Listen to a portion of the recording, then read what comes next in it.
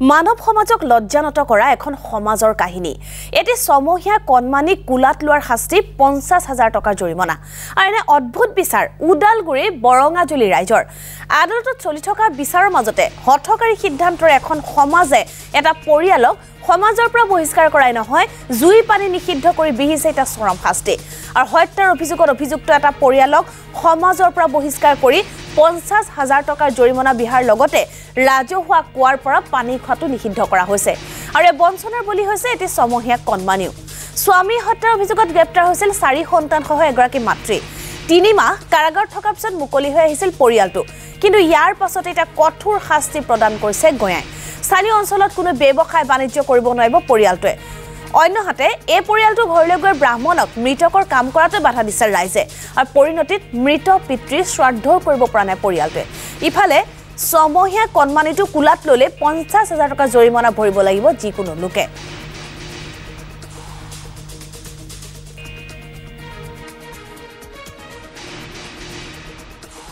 তেতিয়া মোৰ দুই মাহৰ সন্তান আছিলে এটা কেঁচুৱা সেনেকুৱা কেঁচুৱা চলি এটা লৈ ফালে মই এনেকুৱা জেগাত আছিলোঁ। তেতিয়াও মানে সমাজৰ কোনো মানুহে এবাৰ মানে ঘূৰি চোৱা নাই। যিমান যি হ'লেও দেউতাকৰ কিবা ভুল আছিলে আমাৰ যদি ইমানে ভুল আছিলে কিন্তু সেইটো কেঁচুৱাটোতো একো ভুল নাছিল নহয়। সেইটো কেঁচুৱাটো একো ভুল নাথাকাও কিমান বেমাৰ হৈছে যাৰ ৰাতি কিবা কেনেকুৱা হৈছে এনেকুৱা শুকাৰৱালাকো মানা কৰি দিছে পাতটো নিব নালাগে ইহঁতৰ বুলি। কি আমাৰ দমকলো শুকাই গৈছিল তেতিয়া। পানীৰ কাৰণে ইমান কষ্ট হৈছে। দমকল শুকোৱাৰ কাৰণে কওঁতে ওচৰৰ কাৰো পৰা পানী আনিব দিয়া নাই। মিস্ত্ৰী আনি ফালে নতুন দমকল বহাই লোৱা বুলি কৈছে। এতিয়া হাতত পইচা নাই আমি দমকলটো কেনেকৈ বহাম? কুঁৱাটো চৰকাৰী হ'লেও কি হ'ব? মাটিটো আমাৰ বুলি কৈছে। পানী খাব দিয়া নাই। পানীখিনিও খাব দিয়া তাৰপিছত ইয়াতেতো কোনো মানুহে চোৱা নাই। এতিয়া মানে সৰু কেঁচুৱাটো লৈ পেলাই মই থকাত মানে অলপ ভয়ো হৈছে ইয়াতে।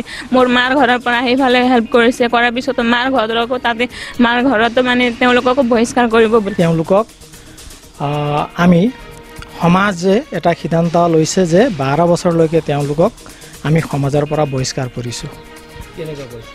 ধৰক মঠ মন্দিৰত ৰাজহুৱা সমাজৰ যিটো অনুষ্ঠান যেনে মঠ মন্দিৰ তাত তেওঁলোকে যাব নোৱাৰে।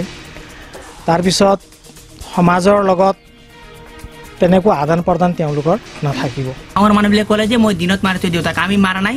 হোটেলৰ মালিকনি আছে দেখা। মই দিন গোটা তাতে কাম কৰিছোঁ। তাৰপিছত ৰাতি আহি কিনে আমাক তেৰ তাৰিখে মানে মাৰা বুলি ক'লা। আমি গোটেইখিনি দেউতাৰ বডিটো খুলি কিনি দেখাই দিলোঁ। চবক ৰাইজক দেখাই দিলোঁ। নাইণ্টি পাৰ্চেণ্ট মানুহে জানে যে আমি দেউতাক মাৰা নাই বুলি কিনি। জানে। হ'লেও মানে কিছুমানে মুখ খুলি কিনি ক'ব নোৱাৰে। নকয় ৰাইজে বহিষ্কাৰ কৰিব বুলি কিনি ক'ব নোৱাৰে আমাৰ দেউতাক কাম কৰিছে কৰা নাই নাজানো ইয়াতে আমাক কাম কৰিব দিয়া নাই দেউতাৰ এতিয়া অহাৰ পিছত দোকানত মোৰ এটা দোকান আছে দোকানত কোনোবা কাষ্টমাৰ আহিলে তাৰ দোকানত যাব নালাগে বুলি কয় মিস্ত্ৰীৰ লগত লগাই কিনি মই ৰাতি হোটেলতে পৰঠা খাই কিনি ৰাতি ন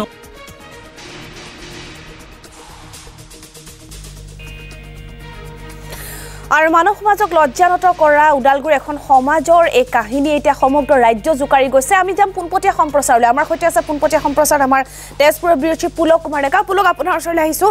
ওদালগুৰিত মধ্যযুগীয় পদ্ধতিৰে এখন সমাজৰ যি হঠকাৰী বিচাৰ লগতে সমাজৰ বঞ্চনাৰ বলি হ'বলগীয়া হৈছে এটা ছমহীয়া কণমানিও এই ঘটনা এতিয়া সমগ্ৰ ৰাজ্য জোকাৰি গৈছে। আপুনি সেই বিশেষ সেই মানুহ ঘৰত আছে। আমি সকলোৱে প্ৰতিক্ৰিয়া জানিব বিচাৰিম।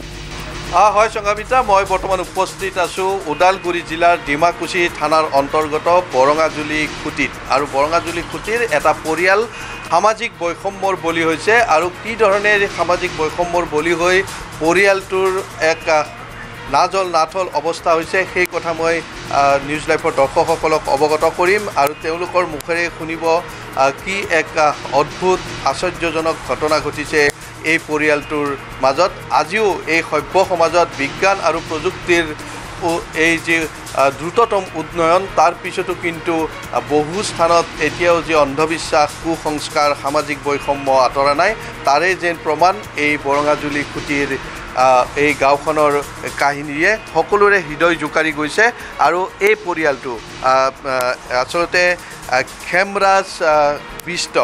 খেমৰাজ বিষ্ট নামৰ এই পৰিয়ালটোৰ মুৰব্বীগৰাকী অৰ্থাৎ এই চাৰিটাকৈ যি পুত্ৰ আছে খেমৰাজৰ এই চাৰি সন্তানৰ পিতৃ খেমৰাজৰ মৃত্যু হৈছিল তেৰ এপ্ৰিলত আৰু তেৰ এপ্ৰিলত মৃত্যু হোৱাৰ পিছত এক অভাৱনীয় ঘটনা সংঘটিত হৈছিল আৰু সেই মৃত্যু যথেষ্ট ৰহস্যজনক মৃত্যু বুলি ধাৰণা কৰা হৈছিল আৰু স্থানীয় একাংশ লোকে এজন লোকে খেমৰাজ বিষ্টৰ মৃত্যুৰ বাবে দায়ী কৰিছিল তেওঁৰেই পুত্ৰ আৰু পত্নীক আৰু তাৰ পিছতে এজাহাৰ দাখিল কৰা হৈছিল থানাত আৰু এজাহাৰ দাখিল কৰাৰ পিছত এই পৰিয়ালৰ আটাইকেইজন সদস্যকে চাৰিজন পুত্ৰ আৰু পত্নীক গ্ৰেপ্তাৰ কৰা হৈছিল আৰু গ্ৰেপ্তাৰ কৰি জেল হাজতলৈ প্ৰেৰণ কৰিছিল আৰু বৰ্তমান তেওঁলোক উচ্চ ন্যায়ালয়ৰ উচ্চতম ন্যায়ালয়ৰ তেওঁলোকৰ আবেদন কৰি তেওঁলোকে বেইলত মুক্তি লাভ কৰে আৰু তাৰ পিছতে ঘট- এই ঘটনাটো সংঘটিত হয়। স্থানীয় লোকে তেওঁলোকক এঘৰীয়া কৰে গাঁওখনে এঘৰীয়া কৰে এই বৰঙাজুলি খুঁটিৰ ৰাইজে এঘৰীয়া কৰি থয় আৰু আশ্চৰ্যজনকভাৱে এই বাৰ বছৰৰ কাৰণে যি এঘৰীয়া কৰা হৈছে সেই বাৰ বছৰৰ কাৰণে এঘৰীয়া কৰা পৰিয়ালটোত আনকি কণমানি শিশু বাদ পৰা নাই। এই কণমানি শিশুটি হ'ব আমি ভালদৰে এতিয়া মুখখন দেখুওৱা নাই প্ৰয়োজন হ'লে দেখুৱাম। কিন্তু এই কণমানি শিশুটিও বাদ পৰা নাই। কণমানি শিশুটিক যদি কোনোবাই কোলাত লয় পঞ্চাছ হাজাৰ টকা জৰিমনা ভৰিব লাগিব। কণমানি শিশুটিকো কোনেও মাতবোল কৰিব নোৱাৰিব পৰিয়ালৰ লোকক কোনেও মাতবোল কৰিব নোৱাৰিব। কিন্তু মই তেওঁলোকৰ মুখেৰে এই কথাটো শুনিম আৰু বেছি স্পষ্ট হ'ব নিউজ লাইভৰ দৰ্শকসকল আপোনালোকক কি ধৰণে এৰি থৈছে? মানে গাঁৱৰ ৰাইজে কি কি সিদ্ধান্ত লৈছে আপোনালোকৰ বিৰুদ্ধে? হয় ছাৰ আমি যেতিয়া জেলৰ পৰা তিনিমাহ জেল খাটি পেলাই আমি বেলত ওলাই আহিলোঁ হাইকোৰ্টৰ পৰা বেল কৰি পেলাই এতিয়া গাঁও সমাজে আমাৰ ৰাস্তা বন্ধ কৰি দিছে ছাৰ। আমি নিজৰ বাগানৰ পাত ছিঙিব নোৱাৰি। আমাৰ দোকান কৰিব দিয়া নাই। মোৰ এখন ট্ৰেক্টৰ আছে ট্ৰেক্টৰ চলাব নিদিয়ে ছাৰ। আমি আমাৰ ফেক্টৰীত এগ্ৰিমেণ্ট আছে এগ্ৰিমেণ্ট সিহঁতে কাটি দিছে ছাৰ। আৰু আমাৰ লগত কোনোবা মানুহে যদি কথা পাতে তেওঁ পঞ্চাছ হাজাৰ টকা জৰিমনা আৰু বাৰ বছৰৰ কাৰণে বয়কট হ'ব গাঁৱৰ পৰা। আৰু আনকি মোৰ ফটো দুজন গাঁৱৰ মানুহে লাইক কৰাৰ কাৰণে তেওঁলোককো জগৰীয়া কৰা হৈছে। আমি আমাৰ বাইদেউৰ লগত ফোনত কথা পাতিব নোৱাৰি। ফোনত কথা পতা যদি গাঁৱৰ লগত কোনোবাই শুনা পায় তেতিয়া পঞ্চাছ টকা জৰিমনা সিহঁতক কৰা হ'ব ছাৰ।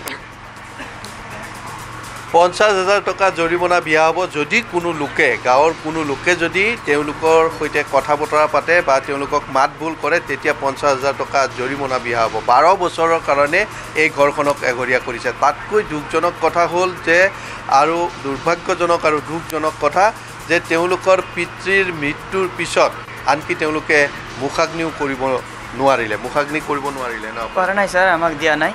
আমাক জেললৈ প্ৰেৰণ কৰিল। দেউতাটো ঢুকোৱাৰ পিছত জেললৈ প্ৰেৰণ কৰিল। জেলত আমি তিনিমাহ থাকি কিনি হাইকোৰ্টৰ পৰা বেলৰ জৰিয়তে ওলাই আহিছোঁ। ওলাই অহাৰ পিছতো আমাক বহুত নানা ধৰণৰ অত্যাচাৰ কষ্ট দি আছে। ৰাস্তাত ক'ৰবাৰ পৰা আহিলে ৰাস্তাত চাৰি পাঁচজন মানুহ মানে গেং হৈ কিনি মানে এটা মাৰাৰ নিচিনা মানে ভয় থাকে সিহঁতে এটেক কৰিব বিচাৰে। এটেক কৰিব বিচাৰে মানে সিহঁতে কাৰোবাৰ লগত কথা পাতিলে মোক ফোন কৰে তই মাৰ খাবি বুলি কিনে ধমকি দিয়ে। কাৰোবাৰ লগত পইচা পাব লগা আছে যদি উঠাব নোৱাৰা হৈ গৈছে। মাত বল নিদিয়ে। পইচা পাব জেগাতে পাবলৈ বন্ধ হৈ গ'ল। দোকান খুলিব পৰা নাই? দোকান খুলিব পৰা নাই। অন্য এঠাইলৈ দোকান প্ৰেৰণ কৰিছোঁ। সেই ঠাইৰ মালিকক মানে এটা ভাড়া লৈছিলোঁ। মালিকক গৈ কিনি ৰাতি চাৰিজন মানুহে গৈ কিনি ধমকি দিছে। এই ল'ৰা তই দোকান দিলেতো পঞ্চাছ হাজাৰ টকা জৰিমনা কৰা হ'ব। পিছত মালিকে এইটো তেওঁলোকৰ কথা নুশুনি কিনি মোক দোকানটো দি দিলা। আৰু পিতৃৰ মৃত্যুৰ পিছত সকলোৰে সেয়া সামাজিক কৰ্তব্য থাকে। পৰম্পৰা ধৰ্মীয় ৰীতি অনুসৰি আজি শ্ৰাদ্ধ মৃতকৰ শ্ৰাদ্ধ অনুষ্ঠিত কৰিব লাগে। সেই শ্ৰাদ্ধও তেওঁলোকে অনুষ্ঠিত কৰিব পৰা নাই আজিলৈকে পৰা নাই। তেৰ এপ্ৰিলত পিতৃৰ মৃত্যু হৈছে আৰু আজিলৈকে কিন্তু মৃতকৰ শ্ৰাদ্ধ পৰ্যন্ত অনুষ্ঠিত কৰিব পৰা নাই। কাৰণ এটাই যে ব্ৰাহ্মণ পুৰোহিত তেওঁলোকৰ ঘৰলৈ আহিব নোৱাৰে। যদিহে কোনোবা পুৰোহিত তেওঁলোকৰ ঘৰলৈ পূজা কৰিবলৈ শ্ৰাদ্ধ কৰিবলৈ আহে তেতিয়াহ'লে তেওঁলোককো জৰিমনা বিহা হ'ব।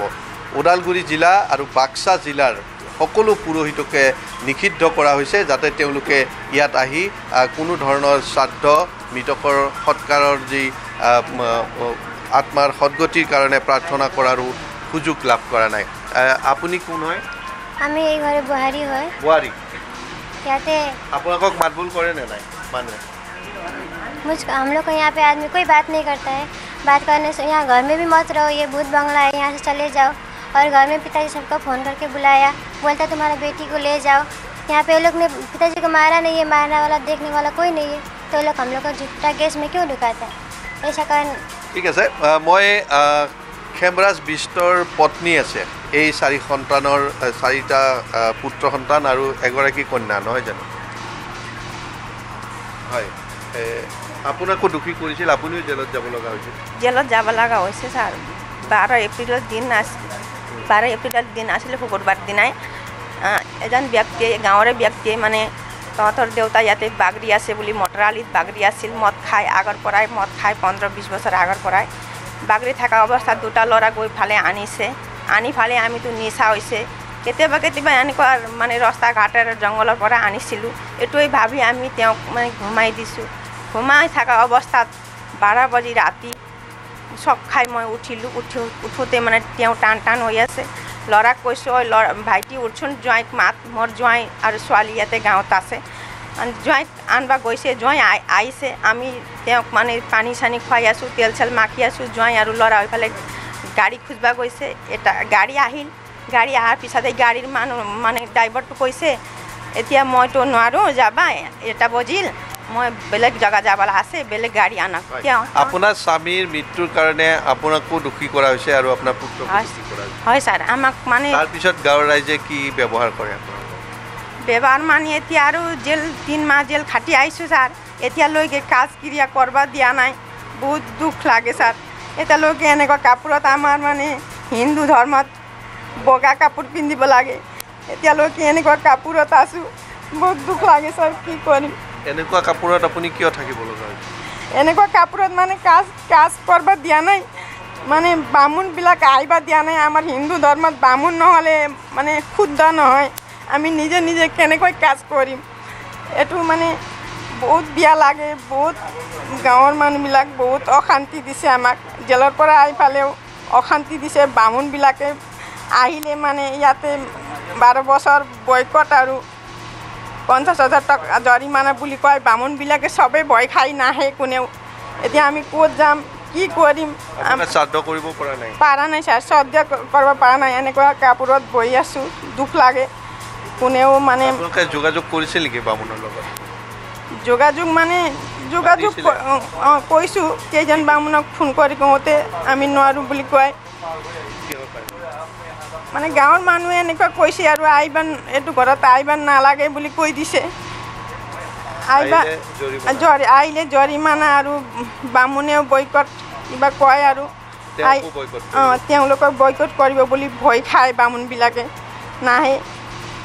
আজি আমাৰ পৰিয়ালটো বাছাৰ পৰা মৰাই ভাল নিচিনা হৈ আছে ছাৰ আমি কি কৰিম? মোৰ নাম বেনেডিক দৈমাৰী। বেনেডিক দৈমাৰী। আপুনি ঘৰত আহোঁতে বাধা দিছে নেকি মই আহোঁতে মানে কি কেইটামান এওঁলোকৰ গাঁৱৰ ল'ৰা আছে। এওঁলোকে মোৰ লগতে পঢ়া বা মোৰ লগতে একেলগে ডাঙৰ দীঘল হোৱা। আৰু কেইটামান মানে কি আমাৰে লগ আছে তেওঁলোককো মানে কি কেইটামান এওঁলোকৰ গাঁৱৰ মানুহে বাধ্য কৰাইছে যে আমাক মানে কি বন্ধ কৰিব লাগে। আহাটো বন্ধ কৰিব লাগে সিহঁতৰ লগত মাত দিয়াটো বন্ধ কৰিব লাগে। কাৰণ এটা কথা মানুহক মানসিক অশান্তি দিয়াটো বহুত ডাঙৰ কথা। এনে এওঁলোকে এনেকুৱা কৰিব নালাগিছিল। আজি মই ওলাই আহিছোঁ। মানে কি মোক সিহঁতে দম দিয়ে বা বুলি তেওঁলোকৰ। ঘৰত আহিছে। এতিয়া। আপোনাৰ সমস্যা হ'ব নেকি? সমস্যা মানে কি সমস্যা হ'বও পাৰে মই কিন্তু ভয় নকৰোঁ। এওঁলোকে কিবা এটা কৰিলেও মই ভয় নকৰোঁ। কাৰণ এওঁলোকক মানে কি আজি এওঁলোকক ন্যায় লাগে। ভুল ইহঁতে কৰক বা নকৰক গাঁৱৰ ৰাইজে ন্যায় দিয়া মানুহ নহয়। ন্যায় দিব আইনেহে নাই ন্যায় দিব। কাৰণ ইহঁতক আজি এওঁলোকক আজি ৰাইজে মানে কি সিহঁতৰ আই ভুলটো চোৱা নাই। সিহঁতৰ সম্পত্তিটো চাই পেলাই মানে কি কেইটামান ৰাইজ আছে তেওঁলোকে মানে কি সিহঁতৰ সম্পত্তিটো জব্দ কৰাৰ কাৰণেহে এইখিনি কাণ্ডটো কৰি আছে।